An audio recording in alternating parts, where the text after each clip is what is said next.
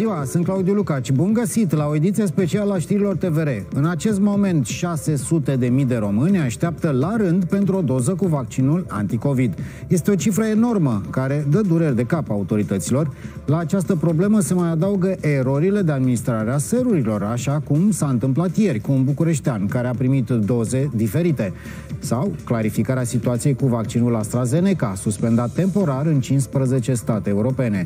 Astăzi vom avea un răspuns din partea Agenției Europene a Medicamentului, iar în această ediție specială vom afla de la un responsabil medical ce se întâmplă la Timișoara, singurul municipiu mare intrat în carantină de două săptămâni și care sunt șansele să obținem finanțări de zeci de miliarde de euro pentru recuperarea anilor pierduți în dezvoltarea României.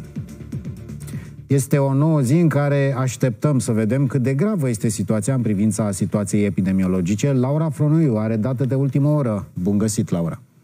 Bună ziua, Claudiu, bun găsit tuturor! 6174 de cazuri noi au anunțat autoritățile din peste 38.000 de teste RT, PCR și rapide antigenice prelucrate în ultimele 24 de ore. În capitală s-au înregistrat peste 1000 de cazuri noi, iar rata de infectare a mai crescut puțin și a ajuns acum la 4,57 la mii de locuitori. Bucureștiul și 8 județe sunt în scenariul roșu în acest moment, iar Timișul este foarte aproape de carantină cu o rată de infectare mare de 5,9 la mii de locuitori.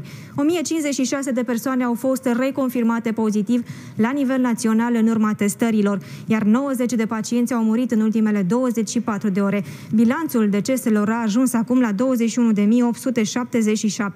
A crescut din nou și numărul celor internați la terapie intensivă. 1286 de pacienți sunt internați în secțiile ATI. Este anchetă în cazul tânărului care a primit alt vaccin la rapel decât cel folosit la prima imunizare. Totul s-a întâmplat într-un centru de vaccinare la Romexpo, unde bărbatul imunizat inițial cu Pfizer, la rapel a primit serul de la Moderna. Adelin Petrișor urmărește subiectul și vine cu detalii. Uh, bun găsit, Adelin, te rog să ne spui ce se întâmplă în acest moment și dacă există o vreo posibilitate ca personalul medical să fie și sancționat. Teoretic, da. Personalul medical ar trebui sancționat. Surse uh, medicale spun că a fost o problemă aici și nu s-a respectat uh, procedura, nu s-au uh, respectat pașii. A fost începută ieri o anchetă. Cei de la DSP au venit la Romexpo.